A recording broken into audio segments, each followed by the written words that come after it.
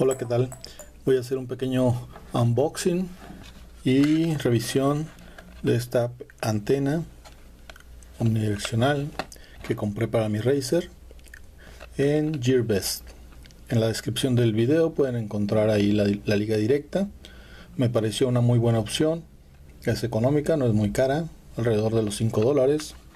Eh, como pueden ver, viene muy bien empacada. Es de la marca DIS es para usar en, los helicópteros o cuadricópteros de FPV, principalmente los Racers. Trabaja a 5.8 GHz. Eh, viene muy bien en su empaque. Incluso trae este su holograma de control de calidad. Viene aquí este identificado su código de barras. Es yo la pedí RPSMA Mail. Este tipo de conector que viene aquí. Ya que es el que ocupo yo en mi, en mi Razer pero también está el SMA. Eh, aquí nos indica, nos da indicaciones.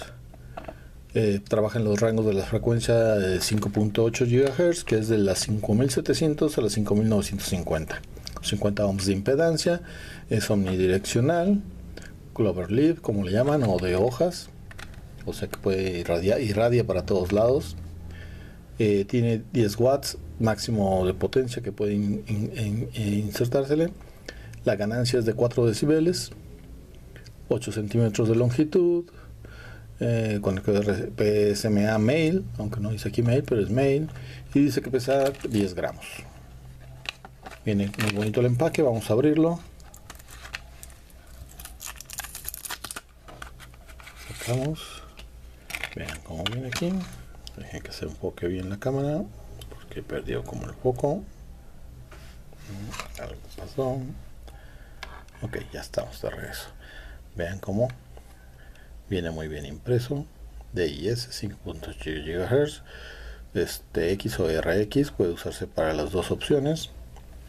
Está muy bien construida. No se puede doblar fácilmente. No es, no es flexible. Y es recomendable no forzarla porque esto hace que se zafe el conector. Eh, está muy bien protegida de esa parte precisamente que es donde se puede romper eh, o se puede torcer y desconectar. Me, ha gustado. El conector como les decías es RPMS RPSMA mail. No sé si lo alcanza a enfocar. Está muy bien construida muy rígida muy sólida muy bien presentada me parece que es una muy buena compra. Como les digo, el costo no es, no es elevado, alrededor de 5 dólares. Vamos a probarla en el Razer y vamos a verificar qué, tan, qué tanto alcance tiene, cuál es su calidad de transmisión y si es posible actualizamos el video con esa información. Espero les haya gustado. Hasta pronto.